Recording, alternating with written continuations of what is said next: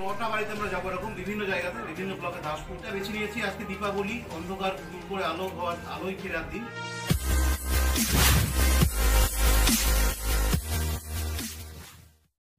নমস্কার আপনারা দেখছেন ঘাটাল নিউজ। আমি আপনাদের সাথে শম্পা পাল।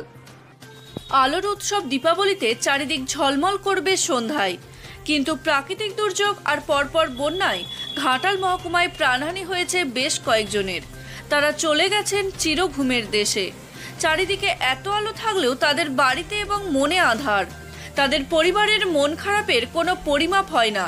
কোনো ক্ষতিপূরণ দিয়ে ঠিক করা যায় না ঠিকই, তবুও রাজ্য সরকার তাদের পাশে সহায়তার হাত বাড়িয়ে দিল আলোর উৎসব দীপাবলিতে, যাতে সব আধার কেটে যায় নিমেষে।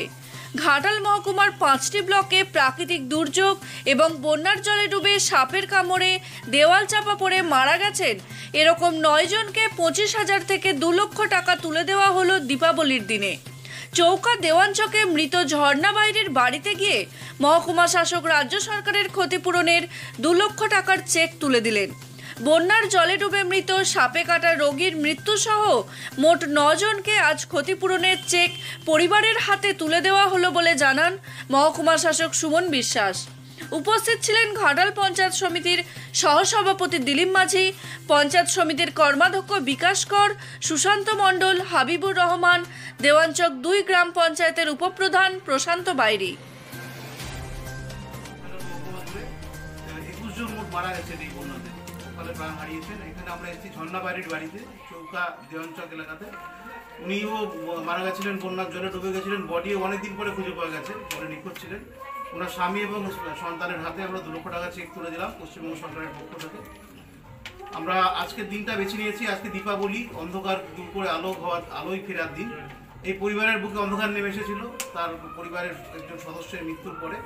আমরা এই দিনটাতে জন্য, আলো ফেরানোর জন্য এসেছি সবাই মিলে। পঞ্চায়েত সমিতির সভাপতি, সহকারী সভাপতি, শিক্ষা কর্মাধ্যক্ষ রামবাবু এবং সুমন্তবাবু সবাই মিলে এসেছি আমরা আজকে।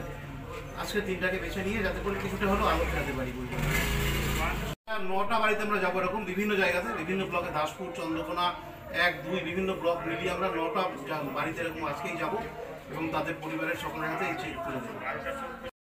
ঘাটাল মহকুমার সমস্ত খবর পেতে Ghatal news YouTube channel subscribe করুন ও Ghatal news Facebook page like করুন।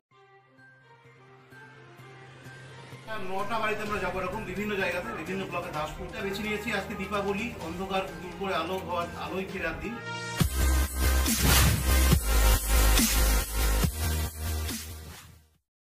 নমস্কার আপনারা দেখছেন ঘাটাল নিউজ। আমি আপনাদের সাথে শম্পা পাল। আলোর উৎসব দীপাবলিতে চারিদিক ঝলমল করবে সন্ধ্যায়। কিন্তু প্রাকৃতিক দুর্যোগ আর পরপর